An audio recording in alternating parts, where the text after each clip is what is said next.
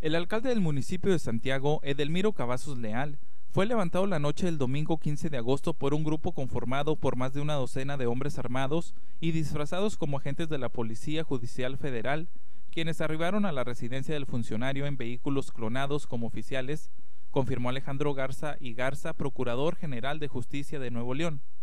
En el video se muestra que dos sujetos se dirigieron hacia él en su domicilio y lo condujeron hacia arriba de una de las camionetas.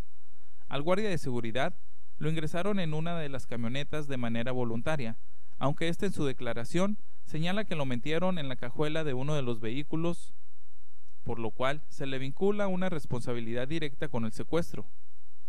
Las imágenes captadas detectaron cinco vehículos con estrobos que arribaron a la residencia a baja velocidad minutos antes de que una persona, presuntamente el guardia de seguridad, realizara un par de llamadas en la entrada de la misma.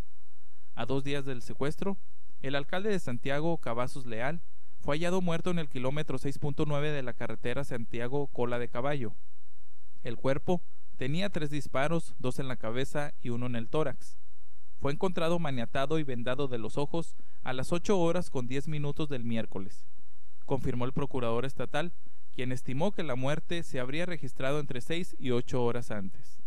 Posteriormente, fueron detenidos cinco agentes policíacos y uno de tránsito en Monterrey, quienes presuntamente participaron en el secuestro y asesinato del edil.